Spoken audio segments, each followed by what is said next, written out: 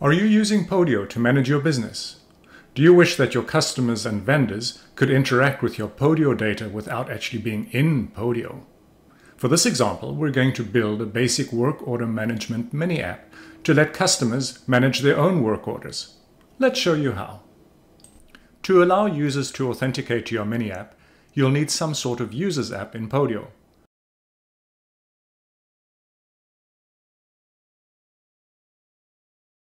We'll need a field for username. We're just going to use email address. And you need a field for password. Now there are many different authentication methods you can use, but this is the simplest, and we're going to use basic username and password for this example. If you already have a customers or leads app, you can simply use that and add a password field to it. You can use Podio workflow automation to set initial random passwords and send them to your customers via email, but that's beyond the scope of this video. Obviously, we'll also need a work orders app to contain the work orders.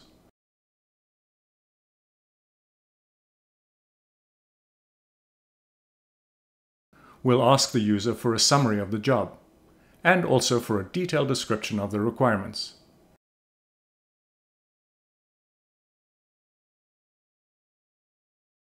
Most importantly, we need a relationship field linking each work order back to a customer.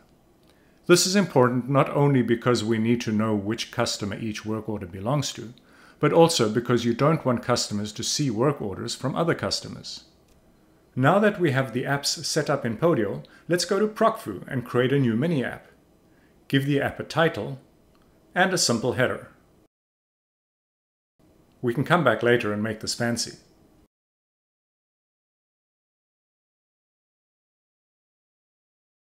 The Start screen is for authentication. We'll specify the Users app in Podio and select the username and password fields to use to authenticate users with.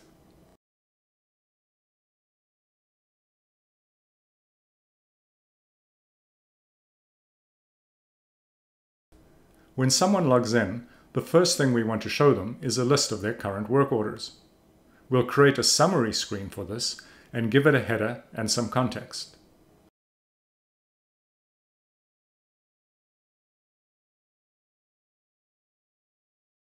Once again, we'll specify the work orders app to use in Podio.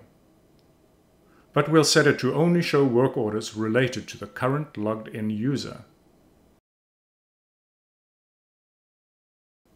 We'll display the results as a simple table and for now just show the title of each job. Now we just need to link the start screen to the work orders list screen. Let's see what we have so far. Let's save with Ctrl S, launch the app, and log in as one of our customers. And on successful login, we can see all the work orders for this customer. That's a good start but we want customers to also be able to see details of work orders as well as create new ones.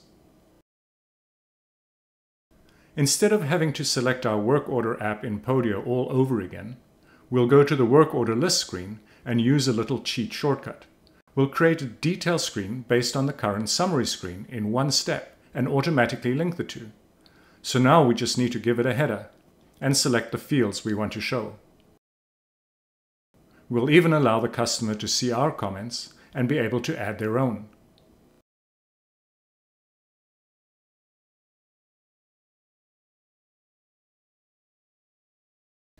To create the Create screen, we'll start by duplicating this one, change the name and heading, and set the mode to Create. To automatically link the work order to the logged in user, will include but hide the customer relationship field and default its value to the special token PF auth item ID. This will automatically use the logged in user's customer record item ID as the relationship field value.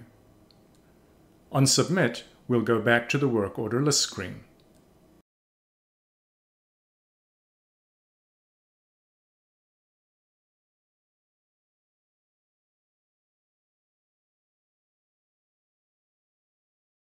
We'll include a markdown link in the list screen to the create screen. we'll use normal markdown syntax for a link, and for the link URL, we'll use the pf screen token with the name of the screen. Time to look at the result again. Let's save with Ctrl S and refresh the mini-app page. We can now click through to the detail of any work order. We can also create new work orders.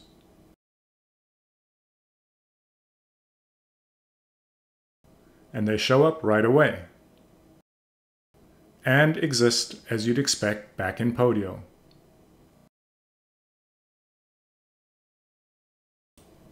This completes the introduction to ProcFu Mini Apps. Of course, this is just the beginning. You can add as many screens as you need and add custom HTML and CSS to style your mini apps any way you see fit. There are also code events for you to change the behaviors of your mini apps, but that's for a future video. Stay tuned.